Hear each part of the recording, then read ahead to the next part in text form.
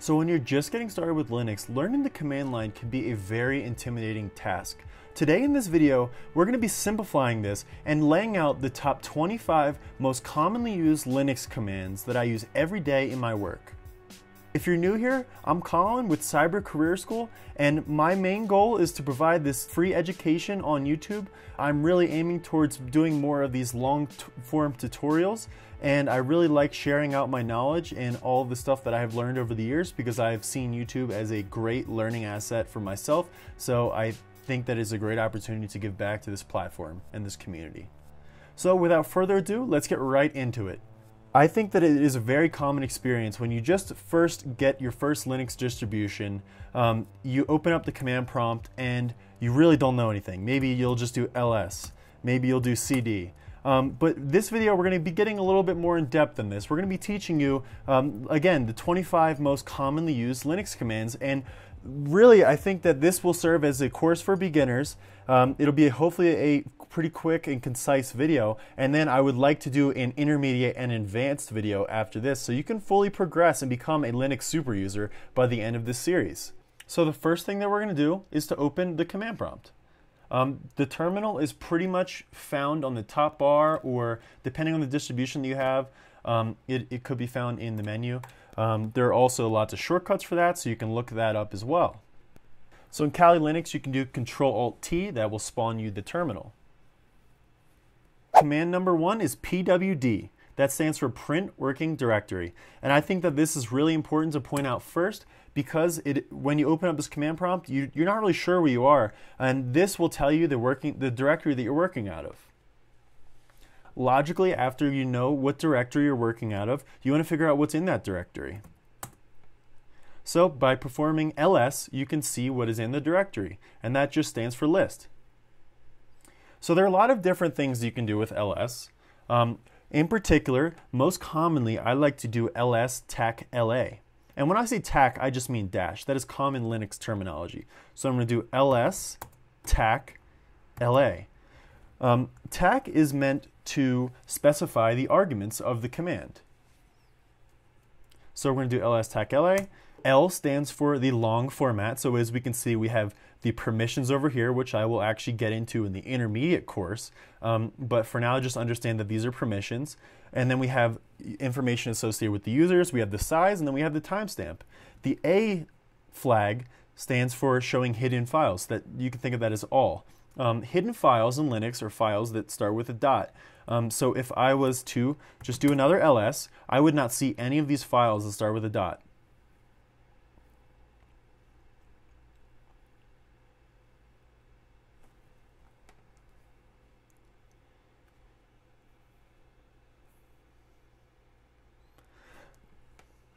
So I already brought up command arguments. Command arguments are extremely important and the more familiar with you get with Linux, the easier these command arguments get to understand and implement.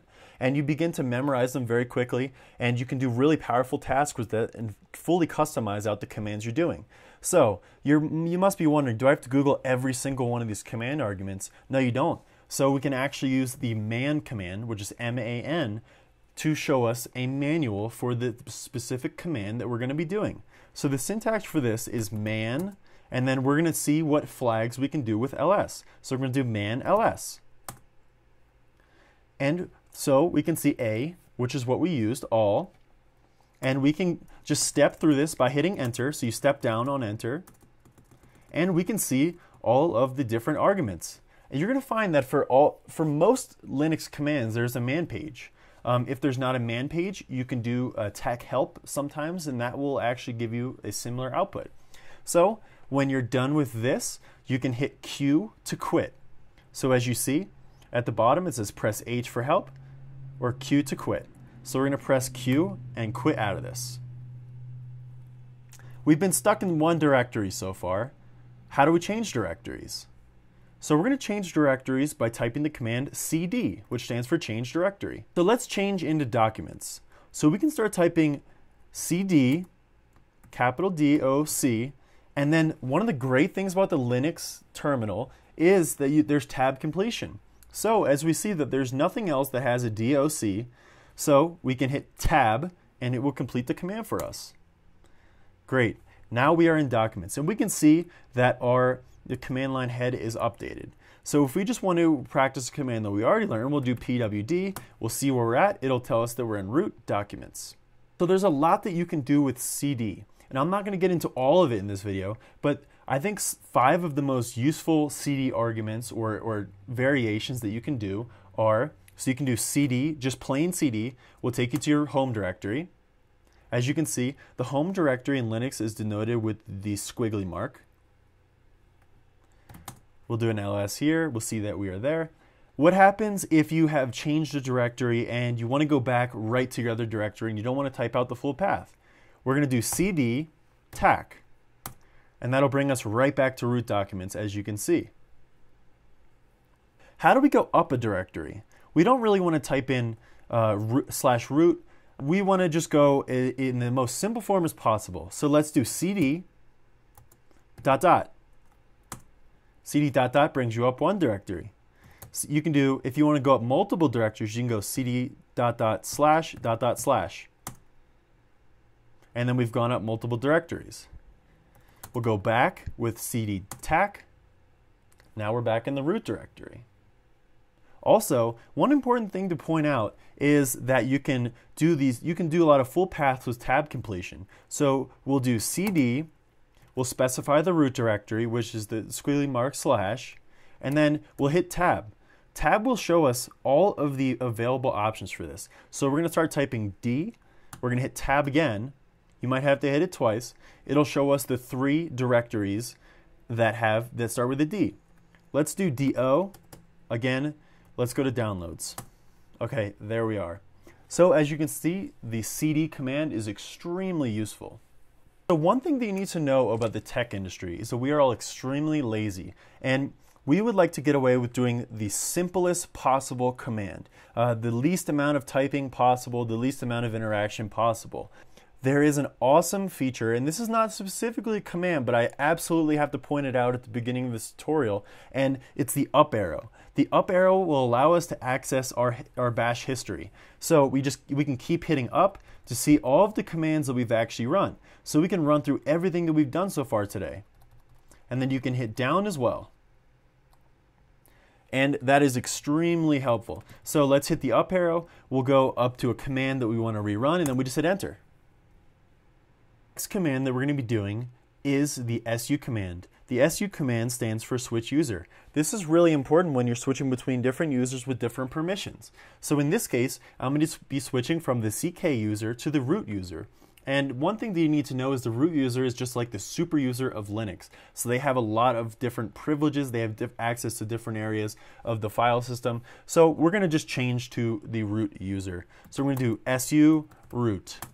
Then we're going to be prompted to enter a password and now we are the root user. We're going to type the next command we're going to be doing is to is who am I? So this is a really useful command to see which user you're running under. So we're seeing that we're under root. So I want to switch back to CK. So let's do, we're back at CK. Let's do who am I again?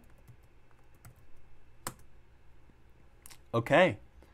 So we have a lot of stuff on our screen. Let's just make it a lot cleaner by running the clear command.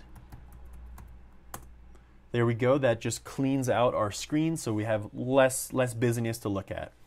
So going along with the same trend talking about running things as a privileged user, um, so for example, CK is not a privileged user. So I will have to call that, that permission um, to actually, or that role to actually run something that, that might be a little bit more uh, privileged to actually run. So let's say that we want to add a user. This is this is again is something that that requires a, a super user to do.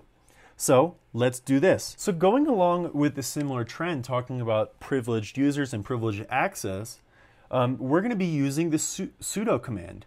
Sudo stands for super user do. Um, so basically, we're calling this this higher privilege to actually run a command that, that requires that higher privilege context. So we're going to be doing sudo, sudo. And then, so just as an example of a command that, that does require this super user privilege is user add. So we're going to add a user called Linux 101. So we're going to do super, super user do user add Linux 101. Next, we're going to do sudo password user1. Take note that it doesn't actually end in words. sudo passwd. So now we're going to be adding a password for this user. And then you're going to be asked to confirm it. This was just a simple example of actually applying the, the super user do privilege. Let's just show you what happens if I try to do it without.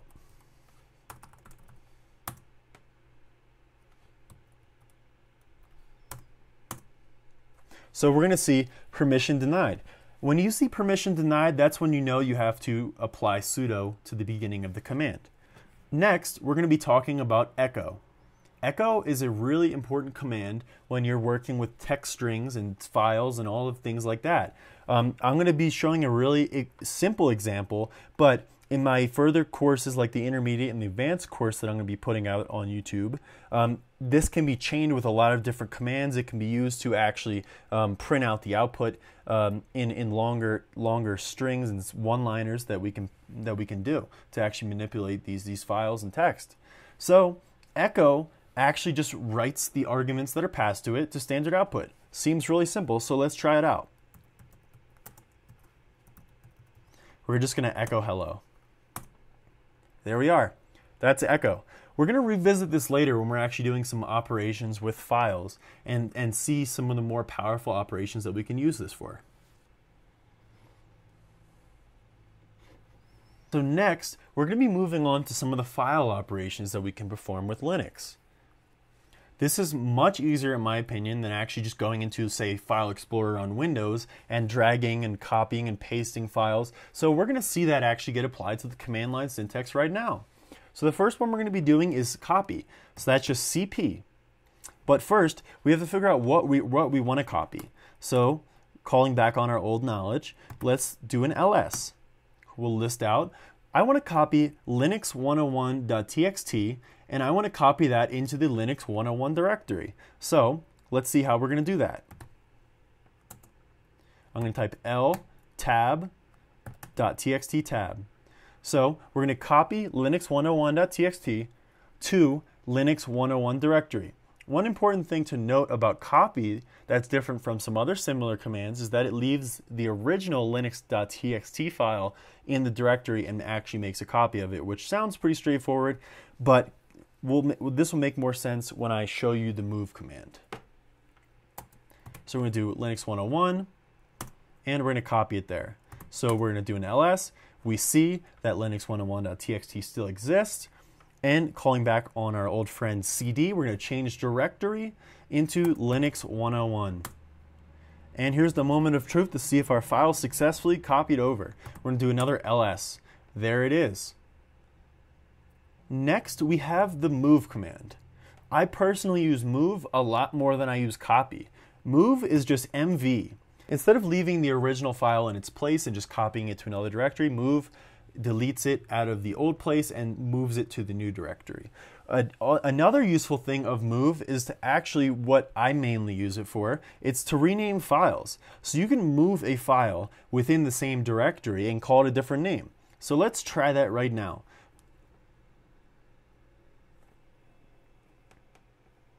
One of the ways that I can add text to this file is I can actually just echo into the file. Like I said before, this echo becomes very useful. So we're going to do echo.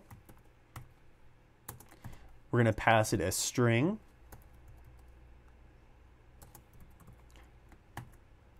And then we're going to give it the right hand caret. The right hand caret tells it to overwrite everything that is in the file. If you give two right hand carets, it tells you to append it to the bottom of the file. Right now, we're just going to be, since there's actually nothing in this file, we're just going to be overwriting the whole file, and then we're actually going to give it the destination.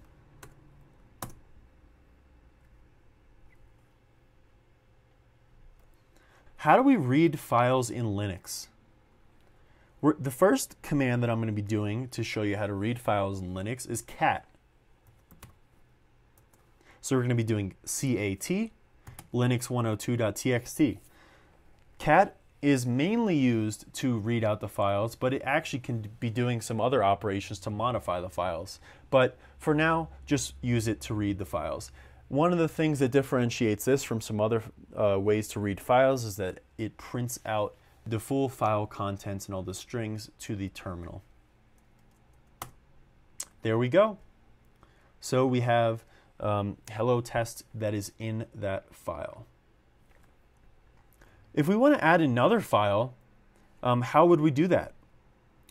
One of the ways to do that is by just doing touch. Touch is a way to create a valid empty file in Linux. So we're going to do touch and then the file name. Since we got rid of Linux 101.txt, let's replace that. Doing another ls, there we are. We have our files here. What if I want to get organized and I want to create another directory? How do I do that?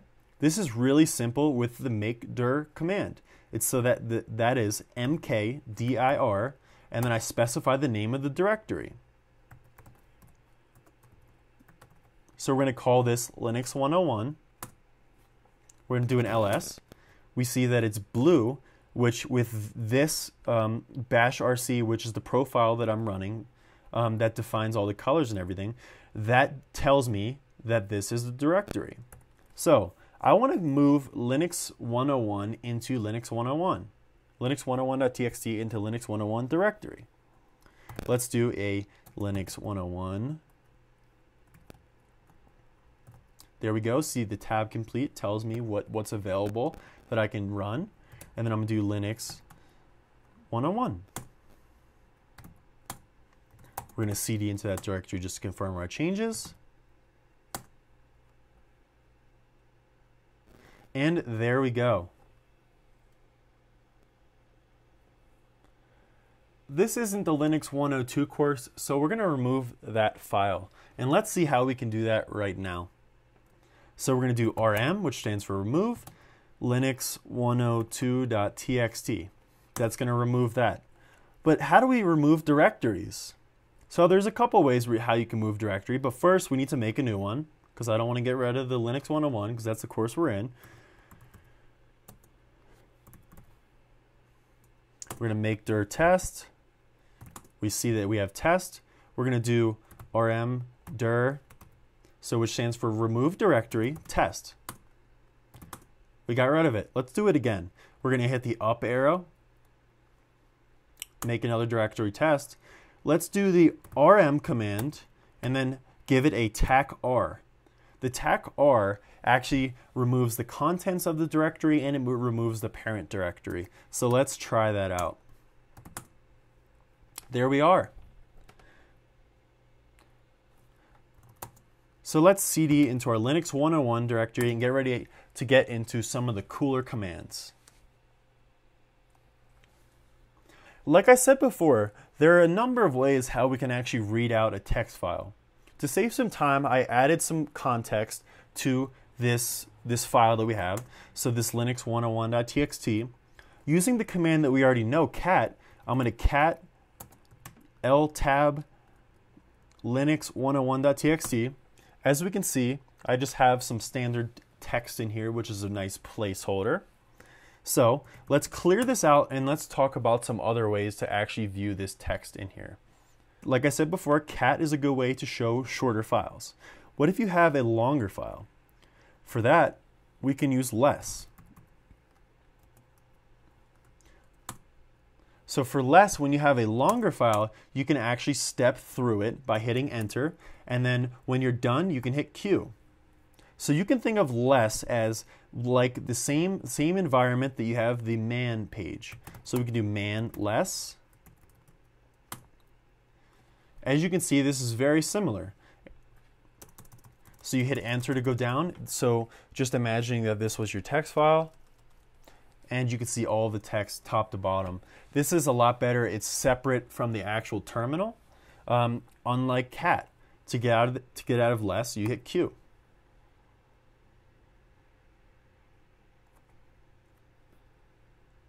What happens if you have a large amount of files? So tying this to the cybersecurity So what happens when you have a large amount of text in the file and you only want a certain subset of that text?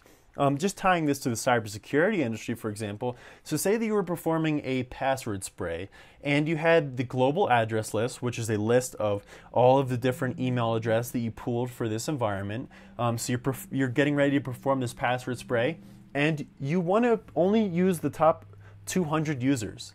Um, the, the command that we're going to use for that is head. And head, you can specify um, how many actually you want. I'm just going to do the default head to keep this tutorial um, pretty, pretty simple and because I don't have a crazy big text file. So we're going to run head linux101.txt. There we go. Next, we're going to be talking about tail. Tail is the pretty much the opposite of head. Again, tying this back to some real world examples, I will usually run tail on logs. Um, especially, I'll run tail on files that are currently being written to because I can see the most recent uh, content that's being added. So, for example, on logs, um, if I uh, if I SSH or which is called secure shell, if I SSH into a server and I want to actually see why something failed, I want to see what the last log is, I'm going to run tail.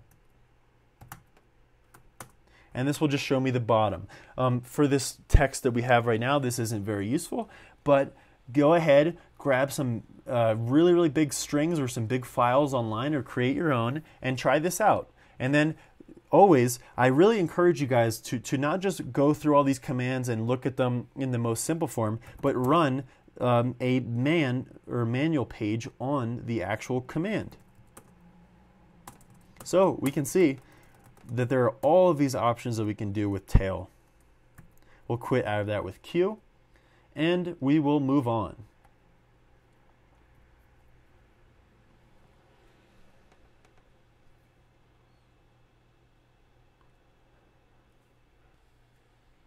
So now that we saw the entire files, how do you go about searching for a specific string or a specific pattern within a file?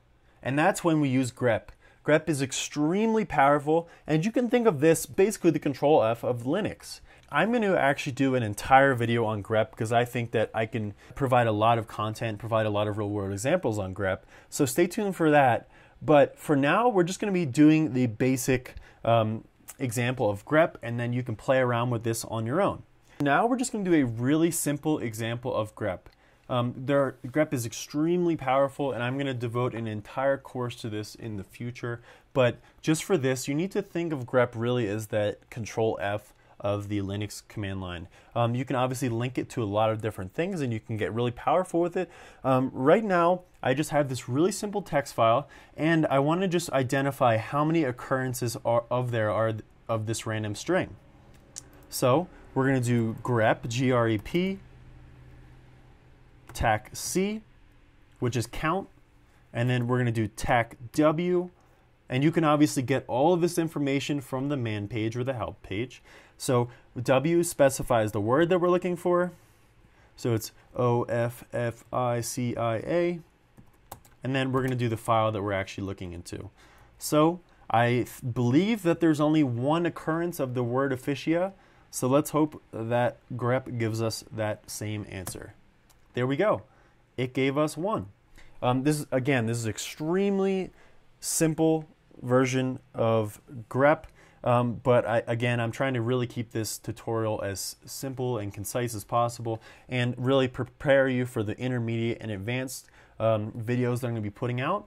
Feel free to really just pause this video here, take, take um, all the time you need to read the man page of grep and, and get as familiar and acquainted with it as you need to be. It's really fun to play around with.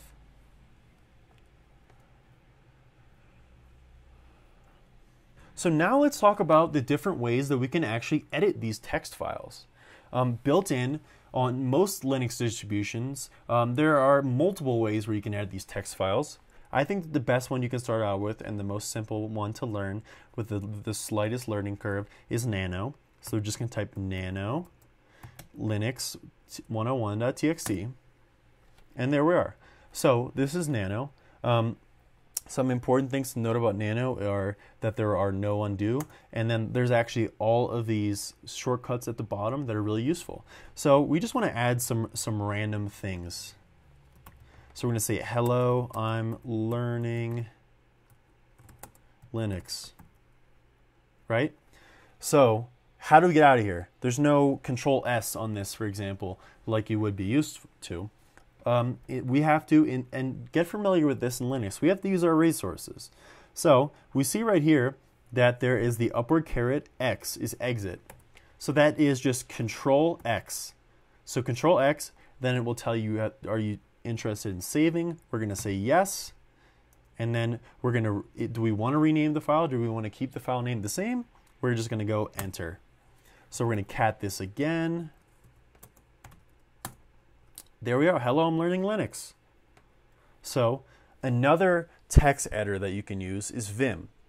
Um, Vim is definitely a harder learning curve, but it is extremely powerful when you begin to learn all the shortcuts. So let's just jump right into it. So we'll do Vim, or sometimes you can just do VI, uh, depending on your distribution and what you actually have installed natively. Um, so to do Linux 101.txt this is not going to be entire uh, Vim tutorial. I also am interested in doing a bit of a Vim tutorial or a Vim like my top tip, tips or something similar to this. Um, but some of the things you need to know when you're just doing simple text editing is right now um, we are not in the insert mode. So I can actually just type, but it's going to do a lot of crazy things because Right now, we are in the mode where all of the keys, are except for I, are tied to different commands. Um, so to get out of that, we're going to type I, which puts us in insert mode. As you can see on the bottom, we're in insert mode. We're going to do add some new line characters, and we're going to just type, Hi, I'm Vim. Okay, so this is the interesting part. Um, so now that we're done, we're going to hit escape. That gets us out of insert mode. So there's a joke about Vim that I would like to share with you all, and it's how do you get a large amount of random strings? Think about it for a second, but the answer is that you give a computer science 101 class Vim and tell them to exit it. Um, it can actually be, it can be pretty complicated. There are two ways that I like to exit Vim. So you're to hit escape to make sure you're out of insert mode. Then you're going to do colon X or colon WQ. I personally just do colon X because it's faster. That's going to save and exit out of Vim. So we're going to just, we're going to less our file this time just to change it up and re-emphasize those old topics we covered. And there we are. We'll hit Q to get out of Vim again. We'll do clear just so we have um, less busyness going on in the terminal. And let's move on. For the next example, I'm just going to be creating a really simple shell script. And if you're not familiar with shell scripts or bash scripting at all, uh, just as a brief intro to it, um, think of this as a lot of a, a, a series of Linux commands that you're operating on the shell that, that when you call the script, they just get executed all the way through. That's really as simple as that, and you're going to get to see that now. So let's do Nano because that's the best editor to learn as a beginner. And you can actually specify a new file um, in Nano. So we don't actually have any other files other than linux101.txt, but we'll do Nano Linux 101 if I could type dot sh. sh is the extension for a shell script. And there we are. We can confirm that we are in Linux 101.sh on the top. So the way that we define these shell scripts is with a shebang. And bear with me for a second while I explain this. But so we're going to do hashtag exclamation mark. So it's hashtag bang a lot of times in Linux terminology, um, the exclamation mark is a bang. Then we're going to do user usr bin bash. And this just tells the computer that to interpret this as a bash or a shell script. We're going to hit enter. We're going to do something really simple. So we're just going to do echo. We're going to do echo I'm in a script. So how do we save this? We go Control X, yes, enter.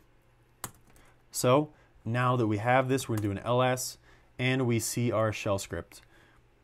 Just out of curiosity, we can also um, cat shell scripts. So we'll do linux101.sh.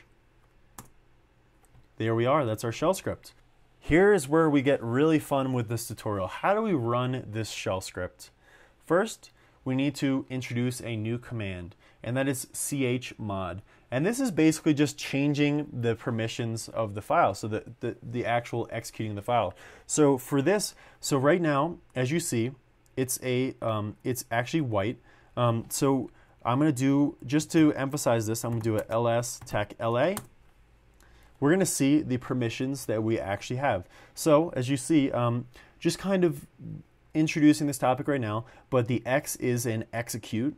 Um, so we see that for Linux 101.sh, we have no execute permissions. How do we add that? We're going to do chmod plus x, and this is the shorthand for it. Um, there are a lot of different variations of chmod. So, for example, if we were to give it all permissions, we would do chmod 777. That would give rewrite execute permissions. Um, we are just going to do plus x, and then we're going to give it the file name. And watch what we see here. So we do another lsla, so it gives us the full long. And we see that number one, we see the execute permission in there. Number two, we see when we just do it regular ls, we see that the color has changed. Um, again, this does relate to the bash profile that you have, but for most distributions where they have a decent up-to-date bash profile, you're going to see at least some type of change in this that it becomes executable. So how do we actually run this? So we're going to do dot slash, hit tab, and it already knows because it's the only it's the only shell script that is within this directory. So let's kick it off. That's it. I'm in a script. Um, as you can see, you can tie any Linux command into this bash script, so you can get it doing some really cool things.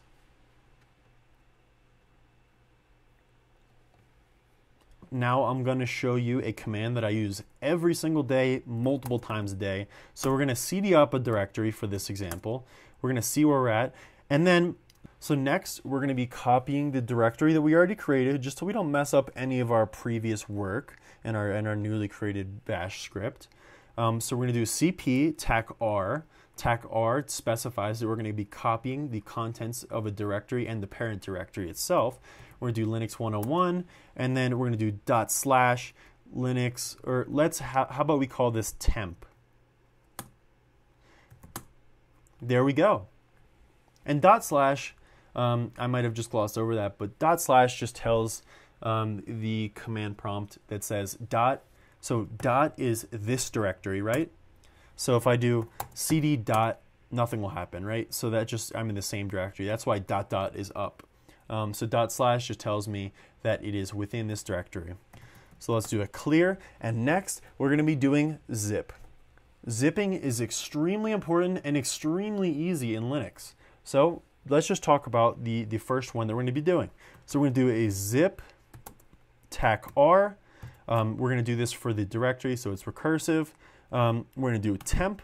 So temp.zip. So the zip name comes first. So it's zip arguments, the new directory name, and then temp.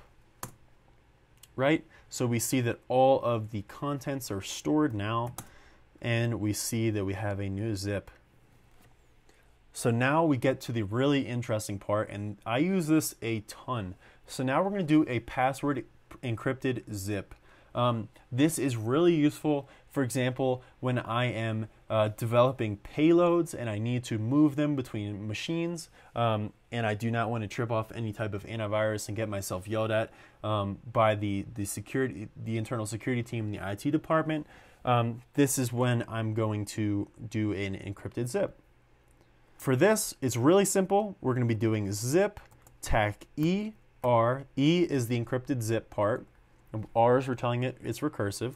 So we're going to do temp or let's do pw temp, pw for password, It doesn't really matter what you call it here, dot zip, and then we're going to call it on temp. Now we're going to be prompted to enter a password. Choose a strong password on this one.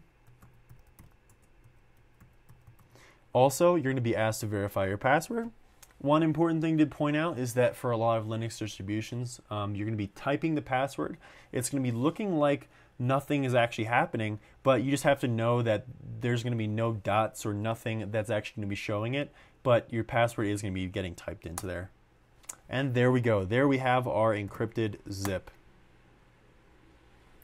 Unzipping it is really simple as well. So we'll just do an unzip temp.zip. It's going to ask you, because I'm doing this in the same directory, if there are any conflicts. Um, we are just going to say no, n. So it's going to ask me for everyone. But that's it. That's the simplest version of zipping and unzipping in the Linux terminal. If you are in the cybersecurity industry like myself, hashing is extremely important. And the next two commands are going to be focused on hashing, and I'm going to show you how to really easily accomplish this from the Linux command line. We're just going to um, cd into our directory. Let's see where we are. We're going to do Linux 101 say that this is a um, script that we see on a system and we think that it potentially could be malicious. Let's just do a MD5 hash on this. So the syntax for this is MD5 sum linux101.sh and this is going to output us a hash. This is really important and I'm not trying to jump away from the, the actual scope of this course that we're talking about today, but if you were in the cybersecurity industry, then you would be looking up this hash in an engine like VirusTotal to compare it to the other known malicious hashes. So this is extremely useful. One thing to note about hash, if you were to change uh, one character in this and run it through this MD5 algorithm, it would provide a completely different output. MD5 is a pretty simple hash. Um, let's do a SHA-256 hash. So this is a little bit uh, more complex of an algorithm. So do SHA sum. We'll do TAC A, which specifies the algorithm. And then we'll do 256. And then we'll do Linux 101.sh. Keep note of the different hash lengths that we have. And there we go. So we got our hashes two different ways. So the next two commands we're going to be talking about are actually using the command line to retrieve files.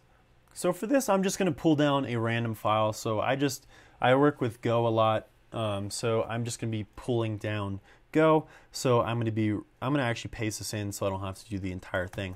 But I'm going to be doing a wget with the parameter C so it's going to actually remotely pull this down as we see it's going on right now. And then we're going to be able to see the go in my directory. Wget is extremely useful for grabbing files really quickly. Um, most of the package installations and guides you're going to go through when you're um, beginning to learn Linux and setting things up, you're going to actually, a lot of the steps are going to be pulling down packages with wget and also curl. So the next one we're going to be talking about is curl. In addition to wget, we also have curl. Curl is a little bit more extensive than wget. I use curl a lot. Um, a lot of the times, so a trick that you can actually do to get your, your public IP is to do curl, I C A N H A Z I P I can't talk and type at the same time. But I'm not actually going to run this because I would not like to share my public IP. But I can actually run a um, epoch. So I C A N H A H A Z E P O C H dot com. And this is because this this endpoint that I'm actually reaching out to, so the icanhaz epoch, um, is actually serving up this, this information in a format that you can curl or that you can query. Think about it that way. So we got my epoch time there. Um, this is extremely useful when you're getting this, this type of remote, your remote data. I'm just going to throw in two bonus commands um, that I also use that I thought about during, during the duration of this. So the first one is going to be ping.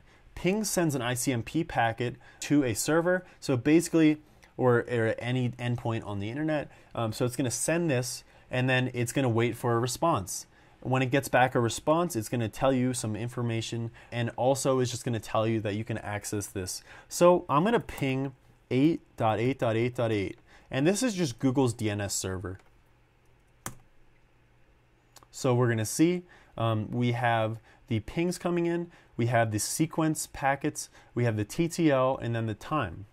There we have it. You have added 25 plus a few bonus commands to your Linux arsenal.